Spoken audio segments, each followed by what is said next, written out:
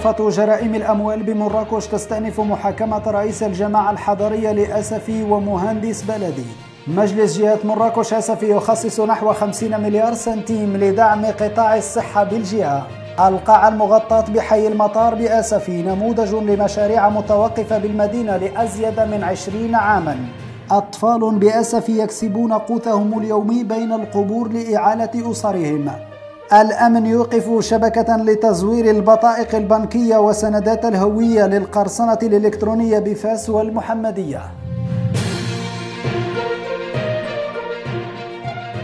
نشرة الأخبار من صفي جود. أهلا بكم.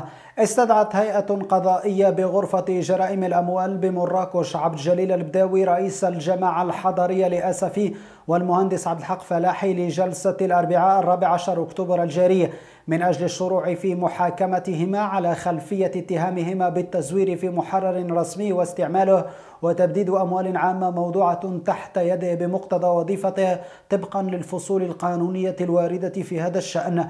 وكانت المحكمة المذكورة قد حددت يوم الحادي عشر مارس الماضي كأول جلسة للشروع في محاكمة البداوي والمهندس الفلاحي والذين تخلف عن حضور الجلسة المذكورة قبل تأجيلها لجلسة الخامس عشر مايو 2020 والتي تخلف عن حضورها أيضا المتهمين المذكورين لتتأجل المحاكمة لجلسة ثالثة. حدد لها تاريخ الخامس عشر يوليوز 2020 وهي الجلسة التي جرى تأجيلها أيضا بسبب تفشي جائحة كورونا. تفاصيل أوفر عن هذا الموضوع تجدونها على بوابتنا الإلكترونية صافيجود.com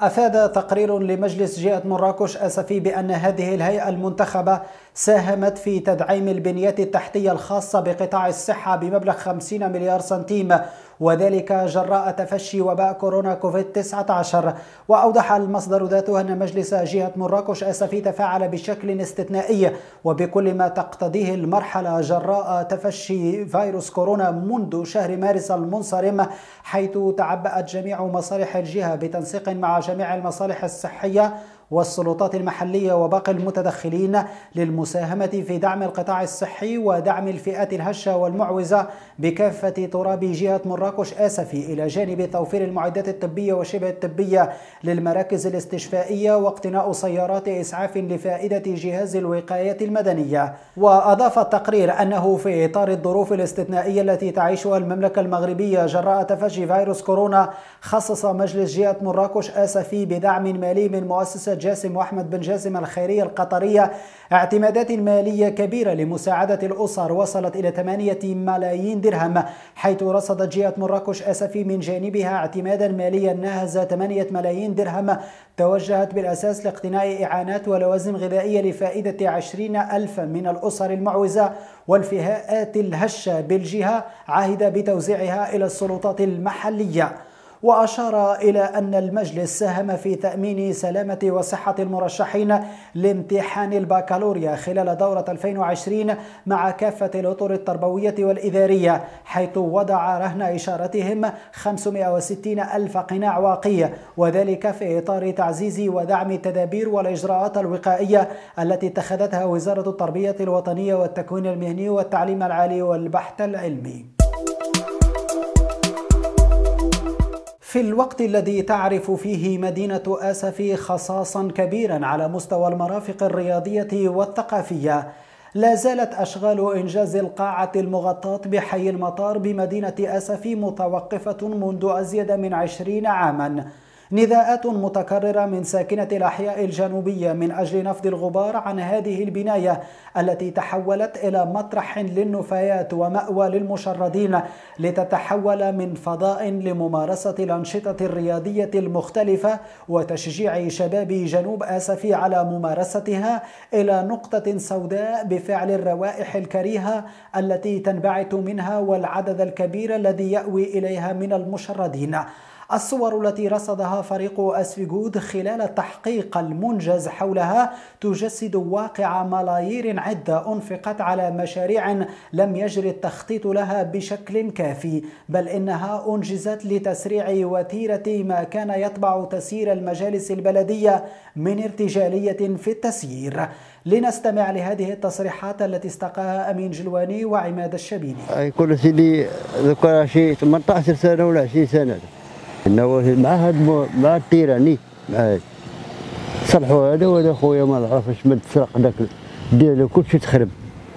تبعوه الشفارة شمد حديد مشى من تما واش من لوح. تخربت. ولا يقعدوا فيها الشمكار ولا هاد المركب ديال المخزن هاد البوليس اللي بعدك هنا. ما كان هناك يقطعوا فيها كاع. أه، صراحة هاد القاعة المغطاة راه مني عقلنا عليها وهي هكا. راه لا يمكن أنه الجنوب تبارك الله راه عنده طاقات عنده بزاف الحوايج. وزيد أنه المدينة فيها l'OCP فيها بزاف الحوايج. ومشروع قد هذا ما قادينش تحركوا فينا هما المنتخبين فينا هما البرلمانيين ديال هذه المدينة فينا هما الشركات تبارك الله راه اسفي ولات عامره الشركات علاش ما يتحركوش هاد البرلمانيين وهاد الناس اللي واقفين على الشأن المحلي؟ ويأتتوا هاد هاد المعلمة هذه بالأخص في المنطقة هذه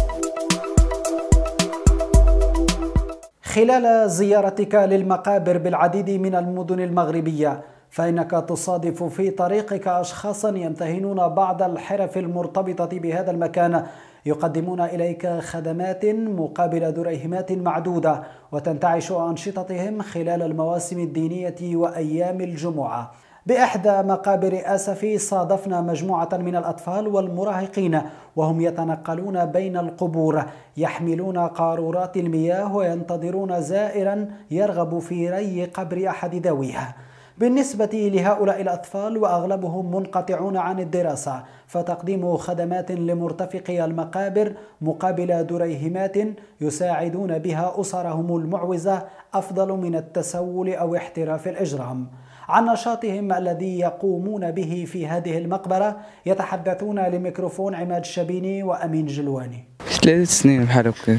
كنقول لكم هنا كل جمعة ورزقة كل جمعة باش ما كان بنادم كثير راه كتصور كان بنادم قليل راه داكشي اللي جاب الله. شوية كيتعاونوا الناس ماشي ما كيتعاونوش. كاين فهمتي كيجي شي واحد اللي عطاك هذيك ماشي كتحاسب الثمن اللي عطاك تقول له عطيني ما كاينش ثمن محدد بنادم كيتعاون معاك وصافي. كنتش كنتعاون معاهم كنجمع الزبل وكذا كنتعاون معاهم شوية. ممكن تخلص مع انت واحد أنا في سبيل الله كنتعاون معاهم. لما كنبيعش المانع أو واقف هنايا. واحد الخاطر كنمشي كنجمع الزبل من الجمعه للجمعه هنايا. كنت داكشي كنديرو في سبيل الله. كنتخلص مع واحد هذا هو الدور ديالك هذاك الشيء اللي كاين كيجيو الناس كيزوروا كذا كيكون الدفن بعض الخطرات كيكونوا الجنازات كيجيو جنازات وكيجيو الزيارات هنايا. كنتعاونوا معاهم. كيجيبوا لهم موية وغريسات. كنجمعوا الزبال كنديروا لهم الغرس كنجمعوا القراعي كنحيدوهم. وأخويا أنا راه شي أربع سنين انايا بحال هكا شي أربع سنين. كنجي الراوده كذا كنجمعوا الزبل كنحيدو كنقوا بعدا كنقوا بعد المقابر و...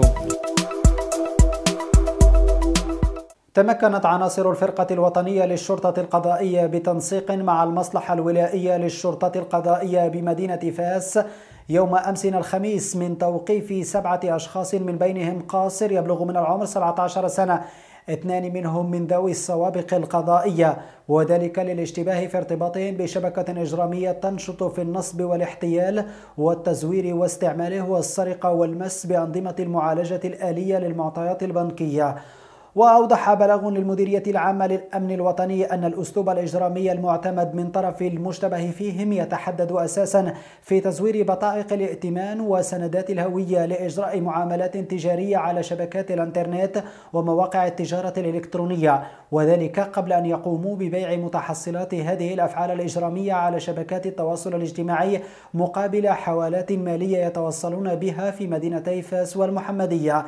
وأضاف البلاغ أن عمليات التفتيش المنجزة بمنازل المشتبه فيهم أسفرت عن حجز سيارة ودراجة نارية وجوازات سفر وطنية في اسم الغير ودفاتر شيكات وبطائق بنكية ووصولات لتحويلات مالية علاوة على مجوهرات وساعات وهواتف وحاسوب يشتبه في كونهم من متحصلات هذا النشاط الإجرامي.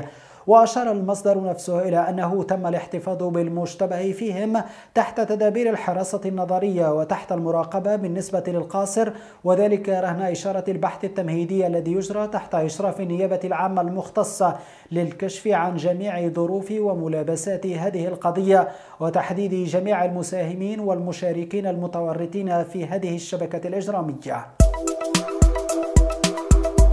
إلى هنا نصل إلى نهاية نشرة الأخبار. قدمناها لكم من صافي جود. شكرا على المتابعة وإلى اللقاء.